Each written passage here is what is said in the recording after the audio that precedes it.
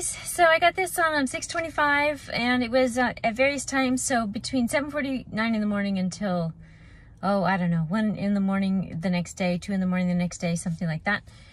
Um, it's called Seven Pivotal Moments. Um, and I'm going to start with Malachi 3.18. Then you shall again discern between the righteous and the wicked, between one who serves God and one who does not serve God. So number one, my scattered vagabonds. Have my own begun to rise to the top? The screen falls between those fully mine and who are not.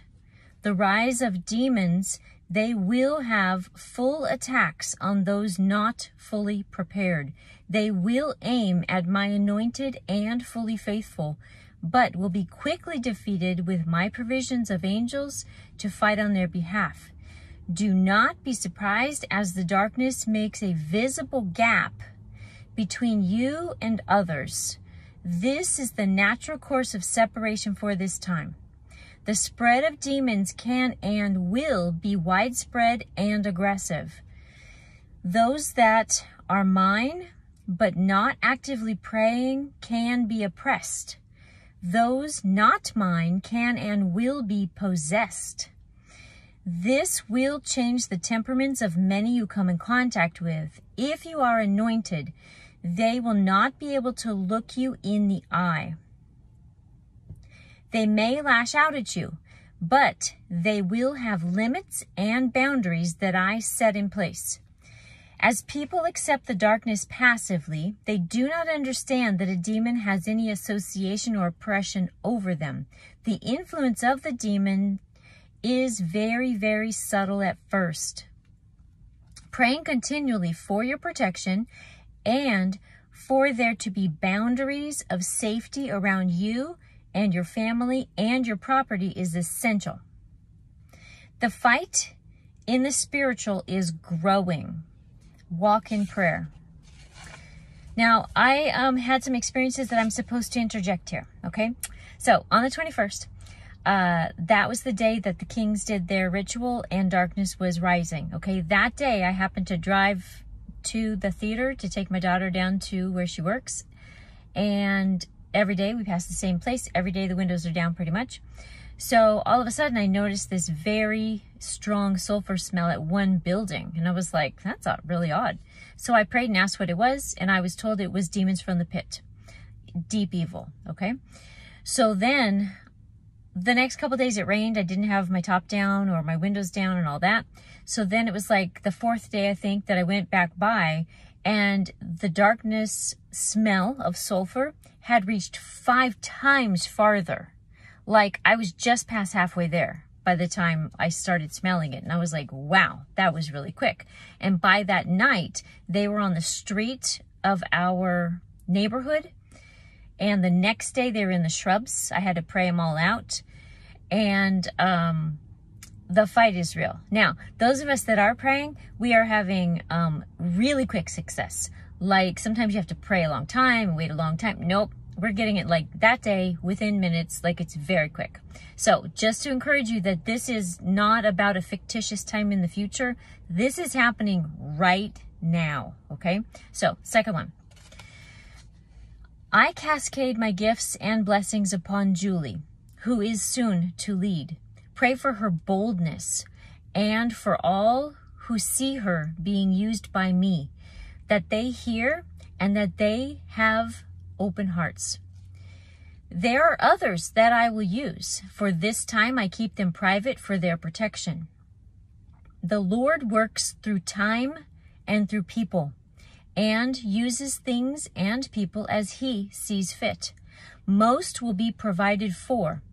Most will not have to ask for anything to be done. Before the need arises, the Lord will go before and provide. After these miracles are performed, those that claim that I am the author and that it is because of one's true faith as to why these have existed, the people in this type of obedience will be noted. Those who have obeyed will be used to show God's mighty hand. If the proper methods are used, I will provide mighty miracles to those in obedience.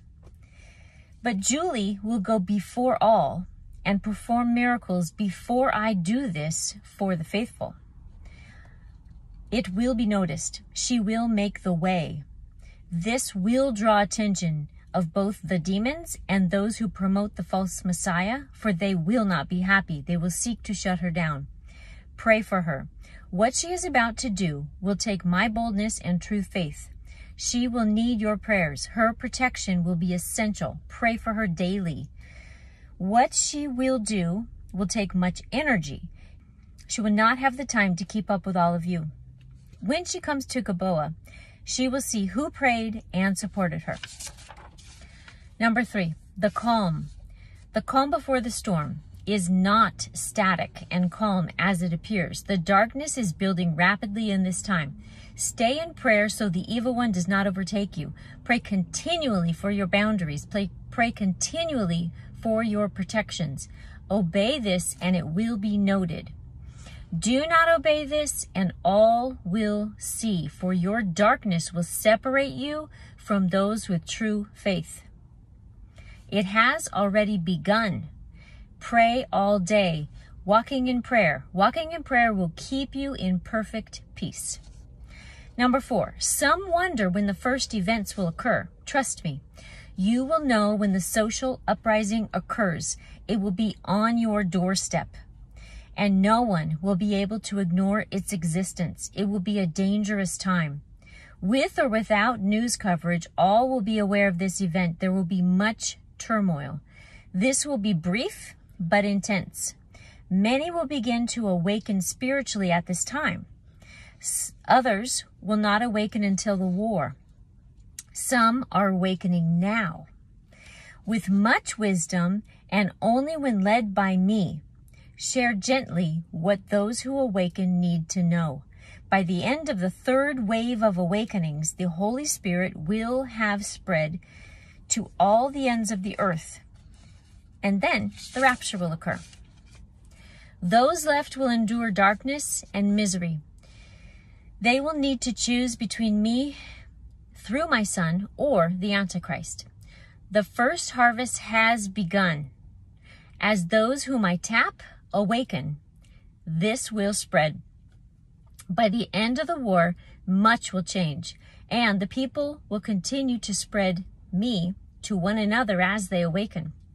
You will see miracles and awakenings that have never been seen. Rejoice, it already begins. Pray for these that awaken, that they grow strong quickly. Number five, prayer needs to be your new way of life constant and regular. Regardless of what else you do, pray continually.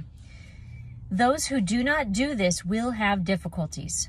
See before that I give you the keys to success before you need it. Use my ways. Those that do will be noted. Number six, give. Give more than you receive from those around you. I will bless you. Give for the right reasons. What are the right reasons? obedience to me, compassion, and love. My son's words express the currency of heaven to put the other person first. Do this in the practical things of the everyday. Live the words of the Bible. Be my living testimony by being an actual living example of the words. Absorb it, live it. This is the first step of being my hands and feet. Those who exemplify my ways are my servants. Be kind and forgiving, place the other first, show love with grace. The time is coming that the world will be drawn to these who follow my words. The shock and dismay and losses will ready their hearts, and they will be drawn like a magnet to those who act like my son.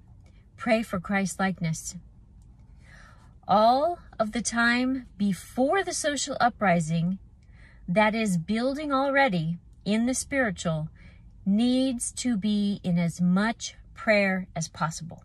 The volume of prayer will be heard and will help our armies defeat the darkness. Pray, praise, dance for joy.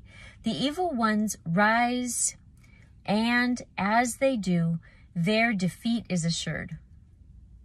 Be counted worthy with those who pray for the great victory. I see all. Those who are lazy do not pray. Those who pray will be separated out and have extra protections. Those who do not pray will not have the same protections. Pray with praise and sincerity. Pray with faith and joy. Pray with wisdom and hope. Raise your praises. Raise your prayers. The great King, Jesus the Messiah, is being prepared for his arrival. Be part of my prayer chorus. Number seven, let not your heart be troubled. I, the Lord God Almighty, have all the details of your life in my hand. Be bold for me. Be like Joshua's army. Be boldly obedient and watch unthinkable things occur to defeat the enemy.